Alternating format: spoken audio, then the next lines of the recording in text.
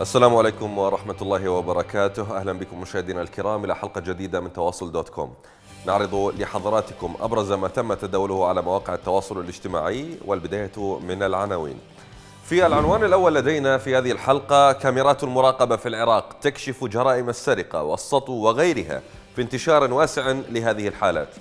في العنوان الثاني في كشف لحجم السرقات خبير اقتصادي يكشف ما يسرق في العراق يوميا.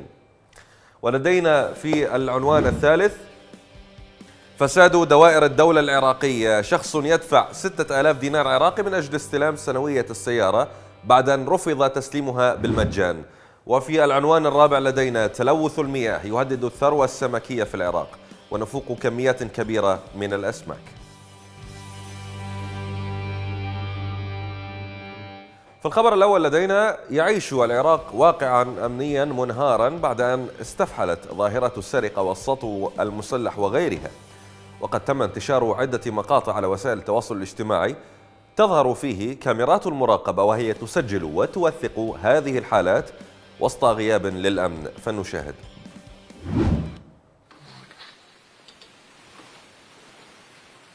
مش بيه؟ مسدس من سكينة أنا شيت أشمش أنا شزل ما شو اسمه؟ شزل فرحان بس آه واسع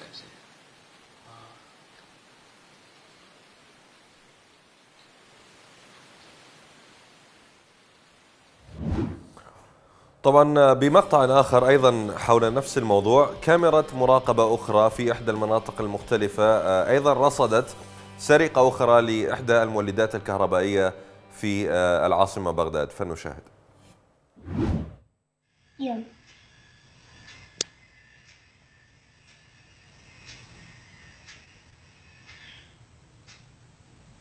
باب اس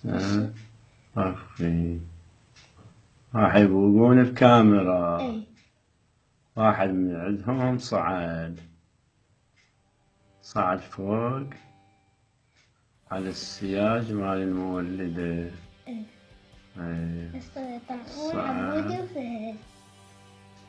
عبودي ابن طلع الصوت يطلع يا بابا إيش فيك انت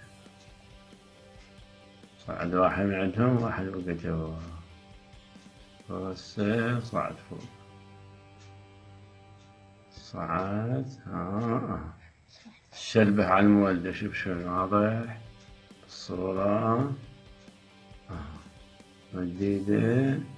قص القيدة مالتها. قص الواير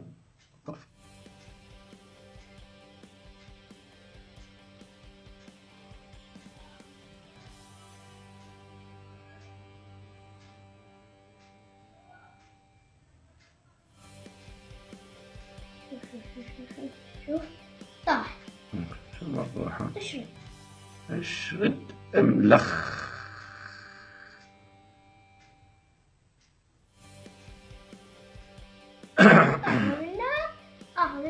إيه.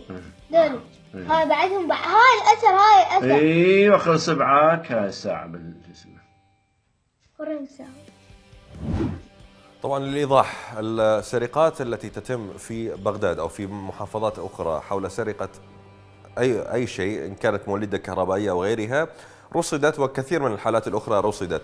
هذا المقطع تحديدا لنعيد الصياغة فقط. آه، ال- السارق سرق, سرق كاميرا المراقبة بحد ذاتها يعني كاميرا المراقبة المسؤولة عن رصد السرقات قام السارق بسرقتها.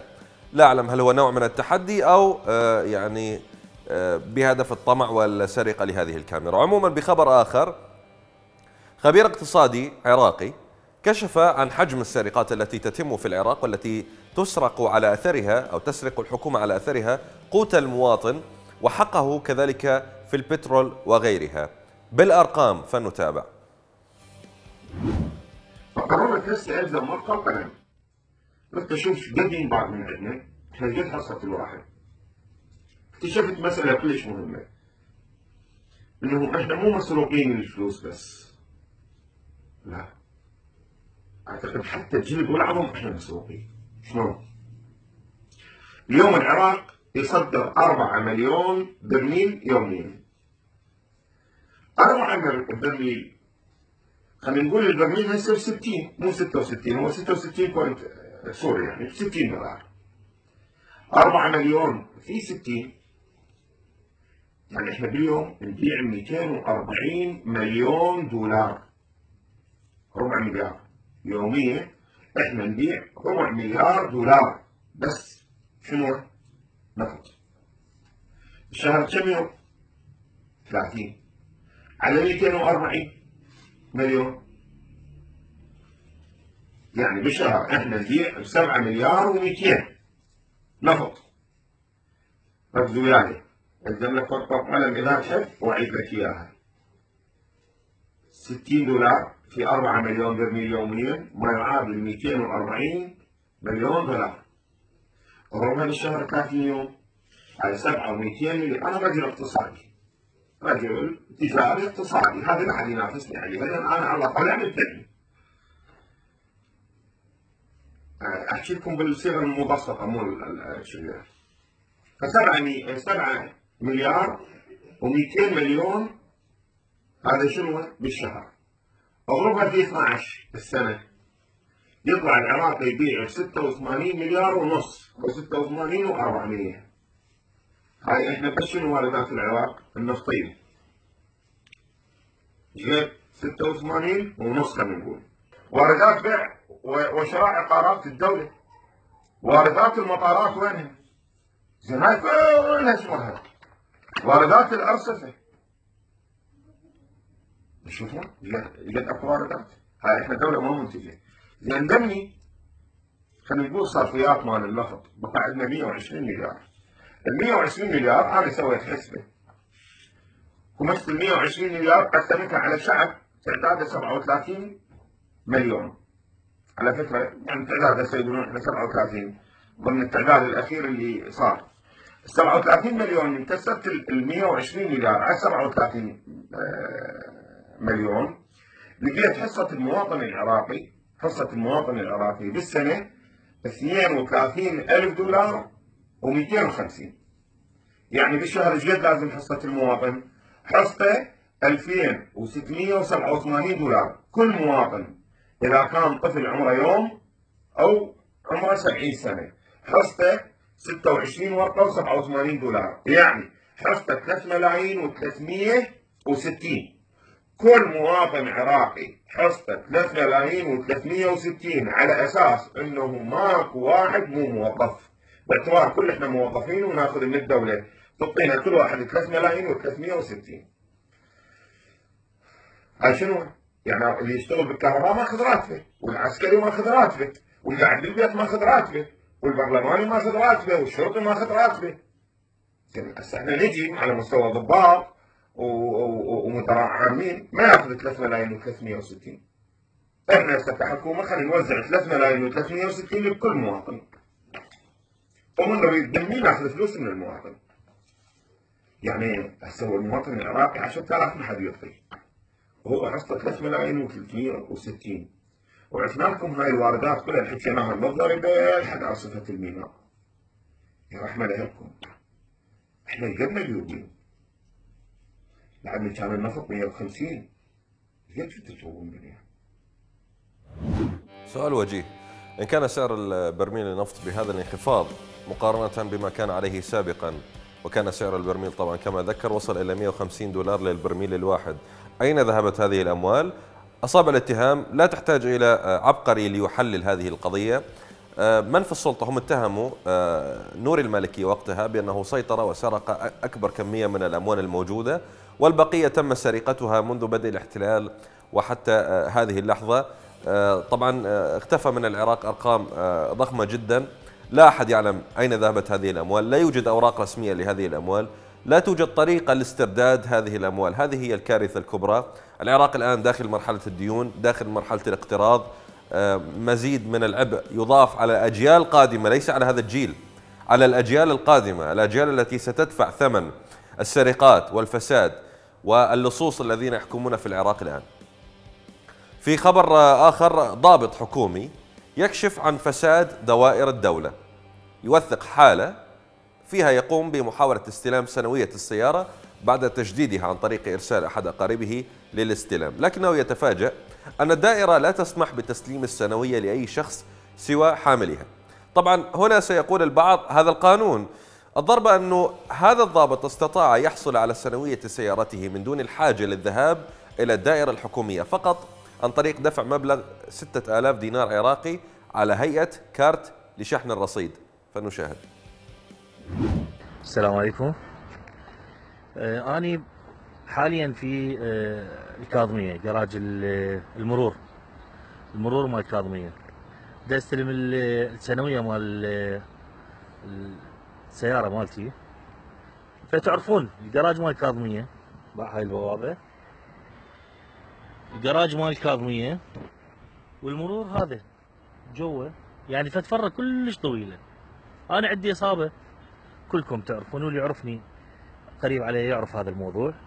فما أقدر أمشي هاي المسافة الطويلة جدا يعني تقريبا بها فوق ال- الكيلو متر فدزيت ال- المستمسكات مالتي السنوية والجنسية وهوية تعريفية أخرى بيد ابن أختي حتى يستلم والوصل. راح للمدير راح للضباط راح للدنيا كلها ما قبله. قالوا له إلا هو يجي بنفسه يلا ننطيه ال- السنويه مال السيارة. فخابرني. ابن أختي قال يا بالوضع هيجي. قلت له اعطيني واحد من الضباط أحكي وياه. حكيت وياه. قال لي هسه أشوف الوضعية بعدين اعتذر. قال لا إلا يجي الشخص نفسه يلا. المدير وتعليمات والشؤون المفتشية والكذا. حكيت ويا ابن أختي قلت له شوف واحد من دول اللي يشتغلون آه، السماسرة اللي اللي جوا بال- بالمرور. شوف لي ياخذ استلمها حتى اذا بفلوس ما ماكو إشكال. خابرني كان يقول لي لقيت واحد آه، بكارت رصيد آه، أبو الخمسة يجيب لك إياها. قلت له ماشي طيب. أنا حاليا هسه موجود بال- بالجراج. خابرني قال لي استلمتها ال- السنوية مال السيارة. سويت؟ هاي جبتها. اي وينها؟ تمام. اعطيني بيش ستة ونص. ستة آلاف ونص؟ إيه. كارت ابو الخمسة إيه. انتهت القضية. لا قانون ولا إجراءات ولا تعقيدات. مجرد ادفع قليل من المال يمكنك أن تنجز أي معاملة في العراق. هذا هو الوضع هذا هو الحال. عندما يعترف نائب برلماني يقول بأنه أنا ارتشيت فلا غرابة من آه، أصغر موظف موجود في الدولة. لا غرابة. لا غرابة عندما آه، يجاهر ال- ال- المسؤول على أموال الشعب المسؤول على حقوق المواطنين يجاهر بسرقاته وبفساده ويضرب النائب الآخر بأنه أيضا هو ارتشى وأيضا هو سرق. لا غرابة عندما يكون ال- المسؤول في الدولة سارق أن تستغرب من بعض ال- المواطنين. ليس تبرير الكل سارق الكل مرتشي. ولكن يعني هذا هو الوضع في العراق بشكل عام. آه، في خبرنا الرابع أحد الشباب العراقيين قام بنشر قام بنشر مقطع آه، يظهر فيه الحال المأساوي الذي وصلت له الثروة السمكية والمياه في العراق. فلنشاهد السلام عليكم. متابعين قناة هاشم جهاد اليوم رصدت هاي الحالة. وين الحالة؟ منين جبتها؟ جبتها من هذا النهر الخايس. هذا كان أنظف نهر بالشرش. هسه كما تلاحظون هذا النهر من هناك مجاري ونهر خايس. فتحوا عليه هذا النهر. وهسه هذا النهر صار به كل السمك ميت. هسه كما تلاحظون باع السمك. هنا مطشر. هسه اصور لكم السمك. مطشر وميت. من وراء ذا المجاري الخاسية. أتمنى من كل واحد شريف عراقي يشارك المنشور ويوصله للمسؤولين يعني شنو ذنب هذا السمك؟ بدل ما هذا يم- يموت العالم تترزق منه. والله حرامات. هسه هاي شنو ذنبها شنو ذنبها صور النار عباس صور النار. ما كنت تم قتلها شوفوا لاحظوا لاحظوا. هاي هاي قليل. هسه راويك بكثير وشوي وارجع لكم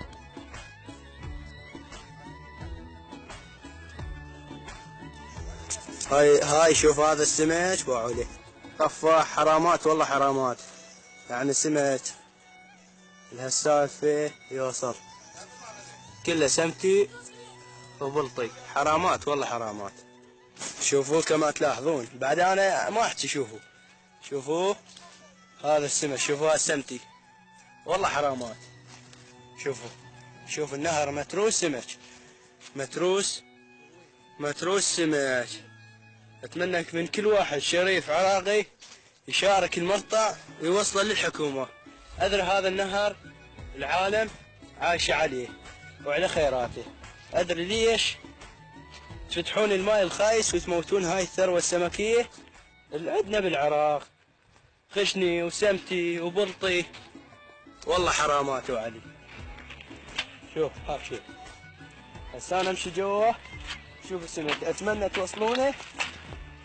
الكل مسؤول ليش هيك يصير بالعراق دمار الشعب إحنا. إحنا ما نحكي. هاك شوف فتحوا النهر الخايس شوف إيش سووا بالسمك هسه أنا قد ما امشي القى سمك بقى كله سمك مطفح هاك شوف. باع السمك.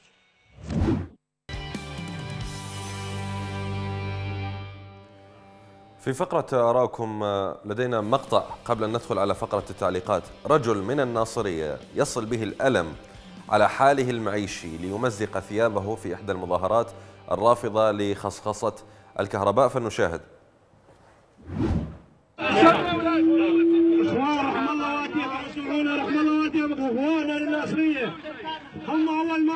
ما حاربونا بالكميه سكان يميمه بالمستشفيات. لقيت زملاء ما عندك 25 ألف تدفع راسل على وجهنا طمله والثانية والثانية قسقسة. أخوان أنا 15 يوم أروح للمصدر وأرجع. ألف دينار ما يطب لعائلتي وين وليد وين لا لا لا لا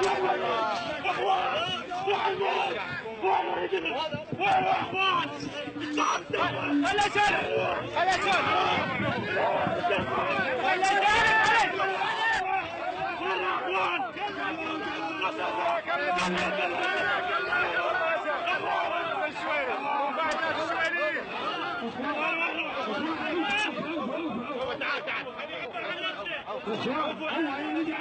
الله ينتقم من اللي سواه. إخوان إحنا إخوان إحنا طلعنا إحنا من طلعنا مظاهرات. من 2011 ما ينتقم من اللي سواه. بعد تحري فريق الإعداد عن هذا الشخص طبعا وأثناء التعليقات قرأنا البعض منها اتضح أن هذا الشخص الذي حاول تمزيق ثيابه من شدة الألم الذي وصل إليه الحال المعيشي في العراق. آه، تم اعتقاله من قبل القوات الحكومية. خرجت آه، عائلته بمظاهرات من أجل الإفراج عنه طبعا. وتم الإفراج عنه بعد يومين نظرا للضغوط التي آه، طبعا آه، قامت بها عائلة المعتقل. أسباب الاعتقال لا أحد يعلم. أي شخص يتحدث الآن في العراق يعتقل إن قال لا للسلطة. نشاهد التعليقات التي جاءت على هذا الموضوع. غريب يقول الله أكبر على هذه الحكومة الظالمة والمتسلطة على الشعب العراقي. آه، في تعليق آخر لدينا أيضا. حازم يقول والله ما دمر البلد غير الأحزاب الفاسدة. شغلهم نهب وسلب وخطف وبكل شارع مقر. لهم 150 حزب مرشح للانتخابات المقبلة. البلد رايح للهاوية. 200 حزب. 200 حزب يا حازم بحسب المفوضية العليا للانتخابات.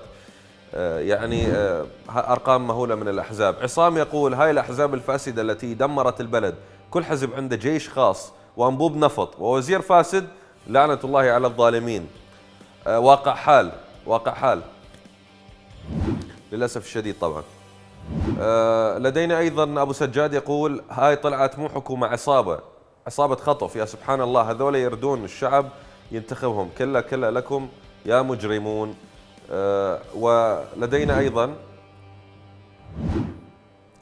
أبو طيبة يقول تصرفات عصابات آه، وليس حكومة. هكذا هي اللصوص. تبا لكم يا طغاة. زوالكم قريب. يا من سرقتم أموال العراق. وبقي لدينا آه، تعليق آخر.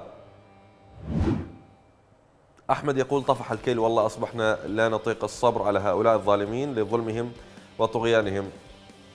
الرد يكون بال- بالتنفيذ بالتطبيق وليس فقط بالكلام. ربما كمثال هكذا نرى الشعب الإيراني كيف انتفض أمام آه، الطغاة. نعود إليكم آه، إليكم بعد قليل.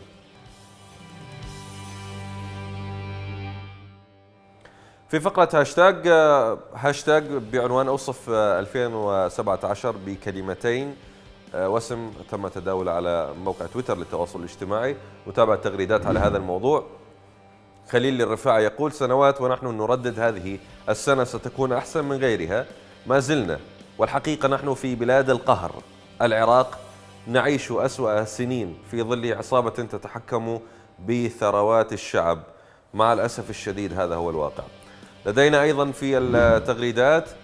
كامل يقول بالنسبة للعراق بالنسبة للعراق من سيء إلى أسوأ ما دام هذه الحكومة باقية والبرلمان الفاسد باقي العراق ما راح يشوف خير. آه، بقاء السلطة وبقاء البرلمان هو هلاك للعراق. محمد يقول الشعوب العربية كسفينة في وسط بحر هائج تتلاقفها الأمواج من كل جانب لا تصل إلى بر الأمان. بإمكانها أن تصل إلى بر الأمان برغبتها وقدرتها وعزيمتها على ذلك. أخيرا جون يقول العراق من خراب إلى خراب بدون أمان بدون خدمات وأهمها الكهرباء. كان هذا ما لدينا بفقرة هاشتاج آه، نعود إليكم بعد قليل.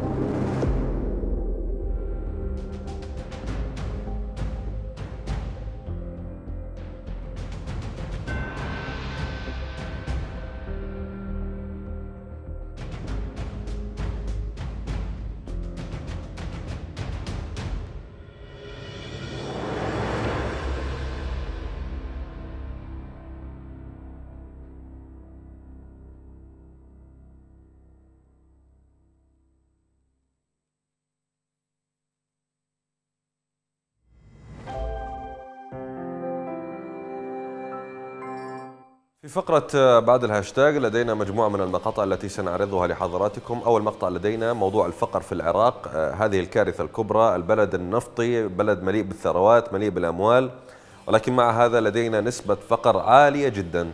فنشاهد. سجلت نسبة الفقر في العراق قبل عام 2014 ما بين 13 إلى 15% فيما كشفت وزارة التخطيط العراقية مطلع عام 2017 عن ارتفاع نسبة الفقر في البلاد إلى 30% خلال العام الماضي 2016 بينما بلغت 31% في المحافظات الجنوبية ونسبة 13% في بغداد. وأكثر من عشرة ملايين مواطن يعيشون تحت خط الفقر من أصل حوالي 38 مليون مواطن عراقي. أي أن نسبة 30% من سكان العراق يعيشون بتكلفة 2.20 دولار لليوم الواحد. نسبة البطالة وفقا للتقارير يعاني أكثر من 43% من البطالة.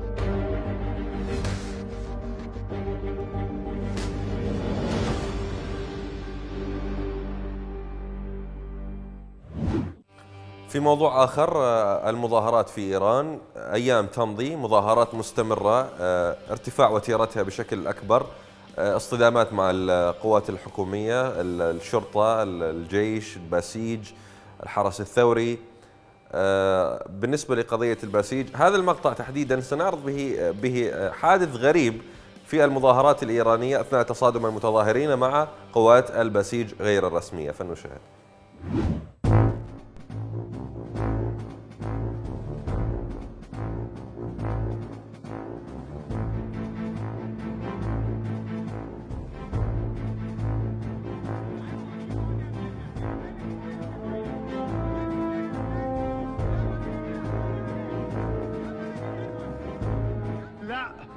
البنطلون بقى لا.